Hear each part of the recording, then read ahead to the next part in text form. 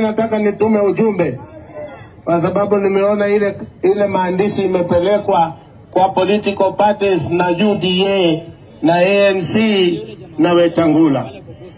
Mimi sikwenda kwa William Ruto kutafuta kiti. Nilimwambia William Ruto katika mkutano wetu wa Dubai, mimi na yeye nikamwambia, usiniulize mimi nataka nini, sitaki chochote. Kile mimi nataka ni ugawaji wa rasilimali igawiwe kulingana na wingi wa watu, na akakubali hilo. Hilo kitu sikuiona kwa hiyo maandishi leo, na nimempigia William Ruto nikamwambia, ndugu, nataka ufafanue hii maneno nimeona nimeona mmegawa viti Mudavadi sijui na nani 30%. Mimi sitaki hata 1%, lakini nataka wakaaji wa mlima, sio wa Kikuyu, wakaaji wa mlima Kenya waweze kusaidika na hiyo serikali yake.